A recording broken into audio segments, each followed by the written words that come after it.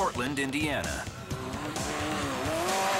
The country's best rock crawlers compete to scale the steepest wall in the event's history. A staggering 85 degree climb. If that sounds virtually impossible,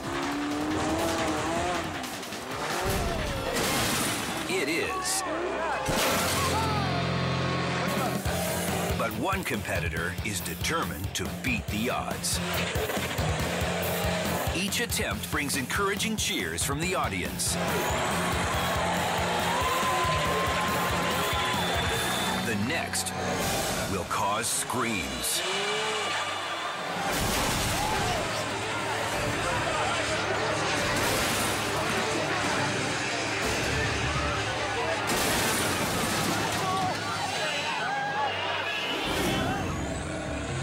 When the driver accelerates mid-climb, the front end flies backwards.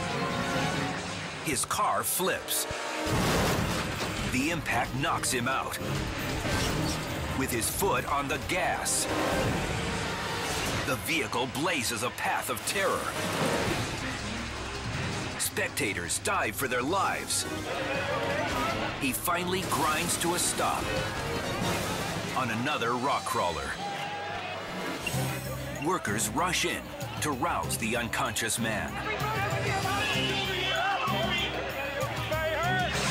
Remarkably, no one was hit by the Rogue ATV.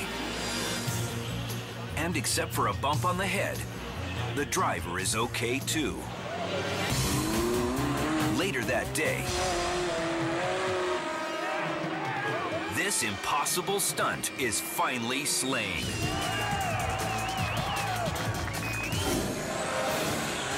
But the attempt fans will remember is the one that nearly slaughtered them all.